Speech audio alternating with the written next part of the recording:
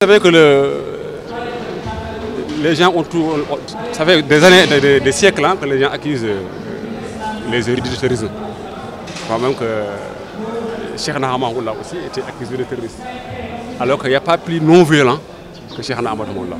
Il n'y a pas euh, ce qu'il n'a pas su. On a tué ses enfants. On a détruit tous ses biens. On a pris ses biens. Donc euh, on l'a déporté plusieurs fois. On l'a amené en Mauritanie, à Mederder, ensuite en Côte d'Ivoire, avant de, le déporter en, France. Et sans armes. Et elle demandait aussi à ces talibés d'être des non-violents. Moi je pense que ce qui gêne, c'est l'enseignement qu'ils donnent, qui permet à, ces talibés de croire en Allah. Et il n'y a qu'Allah qui est là. Parce que si on a cette posture-là, je pense que toutes les difficultés même qu'on a dans euh, sous-développement dans nos pays, euh, ça n'allait pas se, se, se, réaliser.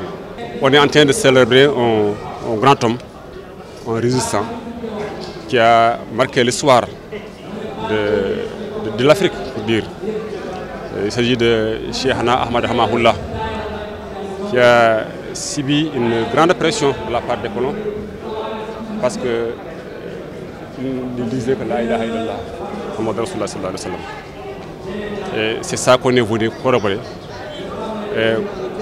Pour montrer seulement aux colons, parce qu'en ce moment-là, le colon lui avait promis qu'il allait le faire disparaître, lui, c'est talibé.